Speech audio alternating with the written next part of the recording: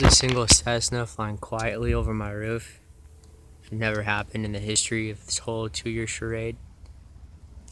He's not only doing that though, he's projecting joy like I'm getting one up on you. Like the police helicopter when he came out to do his cover up the other day and he waved the helicopter tail at me 20 times like this is it.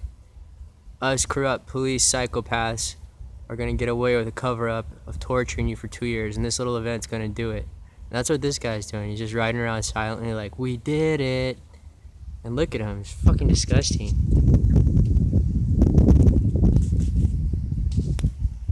Well, we ran out of stuff to say, so we're going to give you a podcast about how you speak. You should speak nicely when you're being tortured and watching cover ups of it happen. And everyone around you's dying and everyone's fucked and you're stolen from, and every civilian a CIA level clearance. You should speak well.